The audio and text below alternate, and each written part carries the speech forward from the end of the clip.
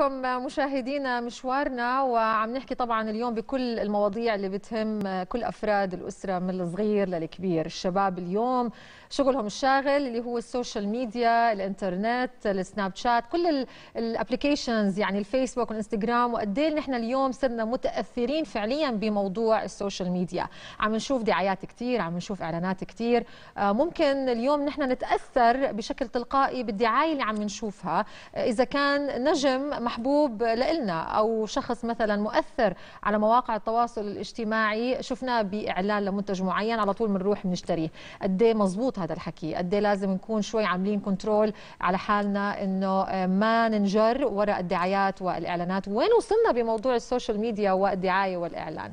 لحتى نحكي أكثر عن ال social media وأثرها على المجتمع وبالدعاية والإعلانات اللي موجودة فيها اليوم معنا طبعا الناشطة على مواقع التواصل الاجتماعي. هديل شحاد أهلا وسهلا فيكي أهلا فيكي خلود؟ أنا كثير مبسوطة. وأنا كثير مبسوطة. أخيرا. يعني بالصوت والصورة اليوم. yes هديل اليوم بدنا نحكي شوي عن ال social media وفعليا نحن صرنا هلأ بعصر التكنولوجيا. آه ما بنقدر ننكر هذا الموضوع. التسويق الإلكتروني آه موجود على الإنترنت على ال social media. آه ليه من وجهة نظرك إنه صرنا اليوم آه رايحين على ال social media من ناحية الدعايات؟ آه طبعا آه إحنا بالأردن يمكن شوي تأخرنا حتى ركبنا هاي الموجة عشان أخليكي بالصورة. المؤثرين وال social media وسناب شات وفيسبوك إنستغرام كان أكثر booming بدول الخليج لسه قبلنا بكثير يعني بتحسيهم لسه هم ركبوا الموجة قبلنا. وعندهم تأثير يعني بتأثر بالمؤثرين لسه أكثر وأكثر. يعني بمعنى نحن اليوم عم نشوف مثلا سين من الناس أنا موجودة بالمحل الفلاني بتلاقيها بتفتح السناب شات وبتبلش تصور وبتعمل دعاية وطبعا بصير في عندها ربح ومدخول مادي. بس قد إيه مدى صحة هالمنتج؟ قد إيه مدى صحة هالمطعم؟ خلينا نقول اللي هي عم بتعلن عنه. إحنا عم نتأثر فيهم من دون ما نحس. عشان هيك اليوم نحن جايبينك طبعا كخبيرة على ال social media لتخبرينا أكثر وأكثر كيف ممكن نعرف جودة المنتج. بس قبل عملنا طبعا استطلاع لآراء الشباب والصبايا عن هذا الموضوع. خلينا نشوف هالتقرير وبنرجع أوكي.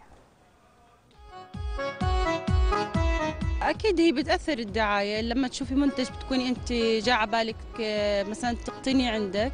لما تشوفي الدعاية فعاطي أكيد حتتأثر وحتروحي تشوفي المنتج اللي أنت حبيبتيه. يعني أنا صراحة الدعايات بتأثر يعني شخصيا فيي. وفي أشياء معينة إذا شفتها على الدعايات بنزل بشتريها يعني وحسب تقريبا أكيد أسعارها يعني. يعني بتأثر فينا يعني بنشوف حسب السعر حسب النوعية ويعني بنتأثر فيها. إذا سعره مناسب ومنيح وإشي أنا بدي إياه يعني آه ممكن باخده بجذبك أكيد يعني. بتأثر فيي لما أنزل أشتري من السوق وبشتريها صراحة لأنه بنجذب إلها.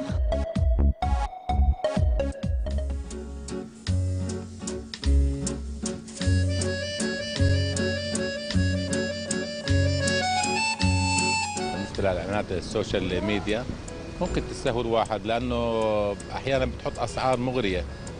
وبالنسبة لحالة الركود في البلد والأسعار العالية لما أنت بيجيك على ال social media بسعر ضئيل جدا فأنت بصير في عندك شغف إنك فعلا تشتري منها وتستهويها يعني أنا أو غيري. تقريبا تفقد المصداقية في غالبيتها. مش صحيحة 100% يعني بعطي بجيب لك بكتب مواصفات السلعة على ال social media وبس تجيك بتلاقيها 90% منها مش صحيح. غالبيتها كلها صينية مع العلم بكتب لك عليها كفاله وبضاعة وجيدة وممتازة ومن أرقى أنواع البضائع بس بتتفاجئ لما تجيك غالبيتها من أسوأ أنواع البضائع الواقع يعني إنه والله مرات بأثر فيها وبشتريه فعلا. بس بيطلع المنتج مش بال مش زي ما أنا بدي يعني أو زي أو زي ما بسوقوا له. بيطلع فيه خربطة كثير يعني بصراحة. الإعلانات على السوشيال ميديا في منهم صادقين وبستهويني إني أروح أشتري المنتج وبكونوا صادقين. وفي منهم بروح بشتري بدي أشتري المنتج بكونوا مش صادقين. بالنسبة لإعلانات السوشيال ميديا حسب نوع المنتج ومدى اهتمام الناس فيه. إذا كان بيخدمني وبيخدمني بنطاق بيتي بنطاق عملي. ممكن أنا يستهويني ممكن أتأثر فيه اشتريه أتصل أهتم فيه. انما إذا كان يعني من نوعية رديئة وأعرفه أحس لو 1% إنه تجاري فلا. هي بس العروضات اللي السوشيال ميديا منيحة. بتعطي مجالات ان الواحد ما يتعب ما يروح ما يجي. يعني بتعطيك المحل بتعطيك عنوانه تروح عليه انت بتجيب اللي بدك إياه بتكون شايفها. تروح بتاخذها يعني. يعني هاي الأشياء بتدعم بتدعم الشخص. لا ينزل ولا يتغلب ولا يدور ولا شيء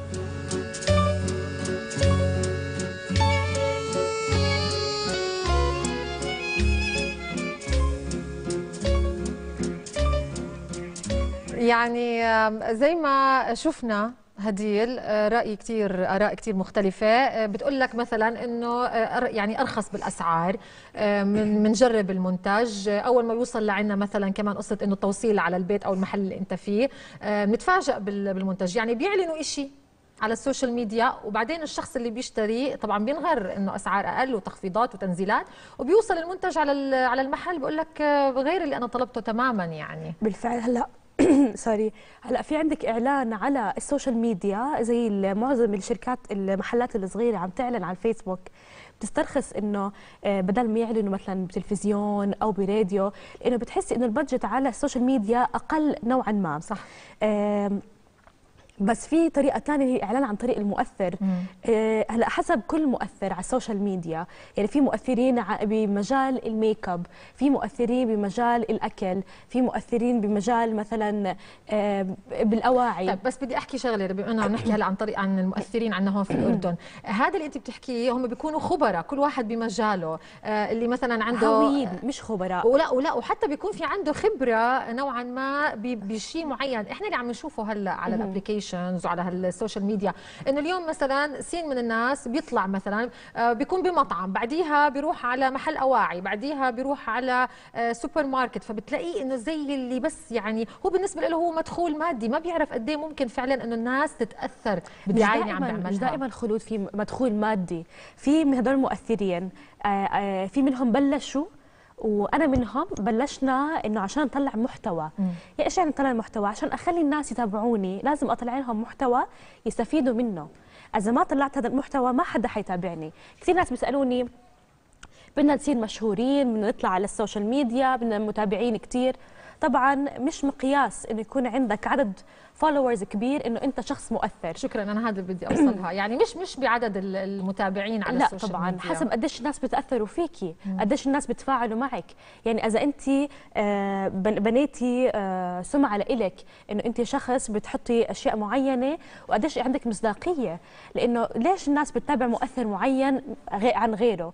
لإنه هذا المؤثر مثلا بيحكي عن شيء بكون هو صادق فيه بكون في عنده ذمة وضمير زي ما بيحكوا.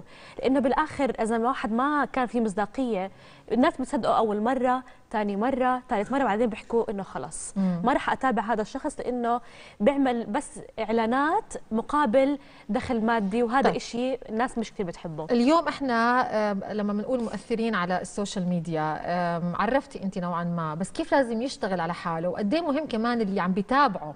لهذا المؤثر. يعرف إنه آه، هاي هذا المؤثر عم بيحكيك صح عم. بيعطيك المعلومة الصح عم بيعطيك المنتج الصح. صح. اليوم إحنا عم نتأثر مثلا بنشوف نجوم هوليوود آه، بيعملوا دعاية لعطر مثلا آه، معين. بتلاقينا على طول بنروح خلص زي كأنه إحنا مصدقينهم إنه العطر معناته رح يكون منيح وجودة عالية بهذا. العطر. صح؟ على سبيل المثال. بس أنا بحس يعني كمان مثلا Hollywood stars ما بنقوا ما ما بيقبلوا يكونوا على أي perfume لازم يكون perfume له اسم brand معروفة عشان يكون اسمه مربوط مربوط بهاي ال brand مم. نفس الشيء المؤثر أنا بالنسبة لي ما بربط اسمي بأي اسم brand ثاني غير لما تكون معروفة وأكون واثقة منها 100% وأكون جربتها تكون شيء مرتب. جربتيها مهم. فالمؤثر كيف بده يشتغل على حاله؟ بده يكون المحتوى تبعه مميز ما يعمل بس copy paste للناس الثانيين ويكون بس بده يصير blogger لا لازم يكون له touch تبعته ال personal touch تبعته. عشان الناس لما تتابعه تقول آه مثلا هذا المحتوى مميز تبع هديل أو هذا المحتوى تبع خلود. مم. أما إنه إذا صفينا كلياتنا بنقلد بعض ويكون كله copy paste الناس حتصير بتزهق بالآخر وبتتابع بس الشخص المميز. آه عشان هيك كل واحد لازم مثلا يتخصص بشيء معين. هلأ مش كلهم خبراء بالشيء اللي بيحكوه.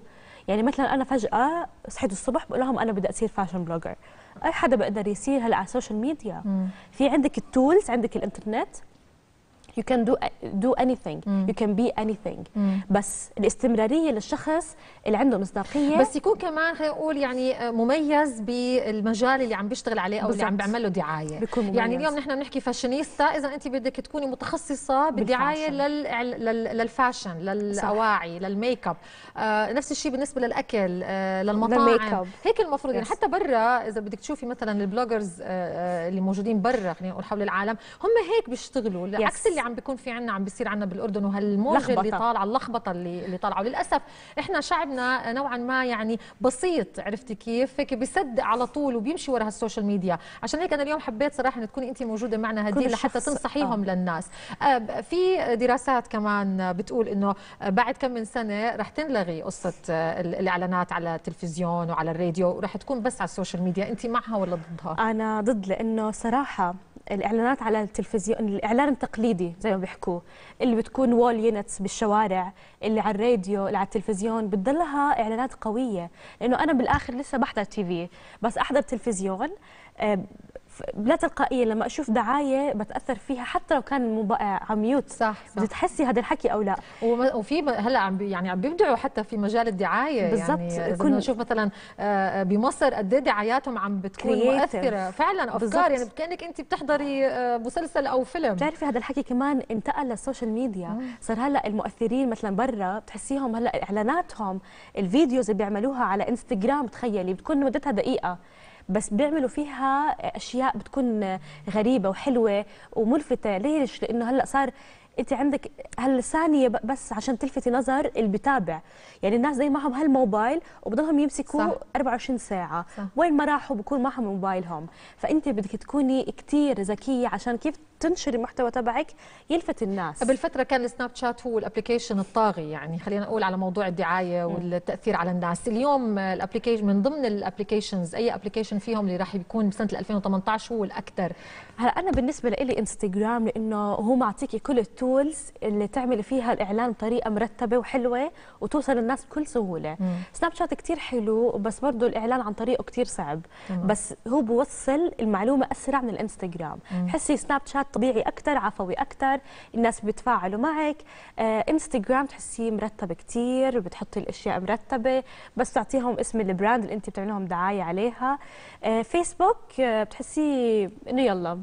شو ما كان أنا بدي هلأ منك هديل آه، بما إنه أنت طبعا يعني مؤثرة وإلك جمهورك آه، على ال social media. بدي آه، بدي منك هيك نصيحة للناس اللي عم بيتابعونا هلأ عم بيشوفونا واللي بيمشوا ورا هالدعايات والإعلانات. وفعلا يعني بيخسروا قد ما كان المبلغ قليل حتى لو في عليه تنزيلات. صح. أنت عم تخسر عم تخسر وقت عم تخسر مصاري وبيوصلك المنتج مش المنتج اللي أنت طلبته أو بعكس اللي أنت طلبته. فاليوم نصيحة للناس هديل آه أول شيء هلأ أنا كمتابعة بتابع المؤثرين آه بحب أشوف الأشياء اللي بيستخدموها. كثير حيقطعوا علي مسافات كثير إنه ووقت كثير إنه آه هدول ال brands اللي بيستخدموها.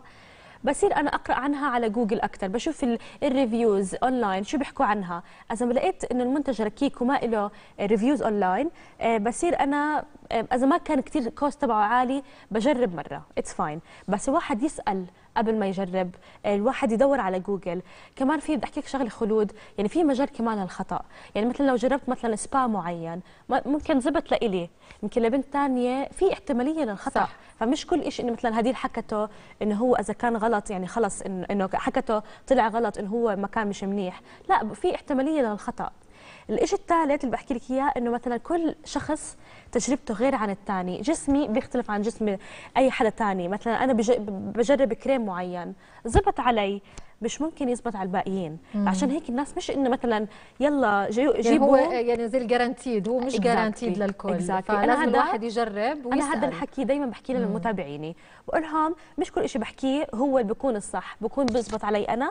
أنتوا اسألوا قبل اسألوا دكتوركم إذا في شيء منتج آه، بتعرفي إنه ب- بالسعودية آه، رفع كأنه قبضوا على بنت آه، مشهوره على سناب شات لأنها حكت عن دواء إنه مثلا منيح بس آه، بدار آه، الغذاء والدواء آه، حكوا إنه إنه هذا المنتج مش منيح وما بصير تعلني عنه عشان هيك هلأ كمان عاملين حملة آه، بالسعودية على مقاطعة آه، المؤثرين تبليك على آه، المشاهير. تبليك المشاهير والمؤثرين على مواقع التواصل الاجتماعي لأنه عم بيو- بيوصل فيهم مرحلة إنه عم بيعطوا المعلومات الغلط للناس بس والناس عشان مقابل مادي. وعشان مقابل مادي وعشان هيك نحن اليوم حبينا إنه نحكي يعني من خلال برنامجنا عن هذا الموضوع إنه ما تتأثروا كثير بالدعاية والإعلان. لازم اسألوا. ناس أوعى. آه، استشيروا كونوا اوعى زي ما عم بتقول هديل.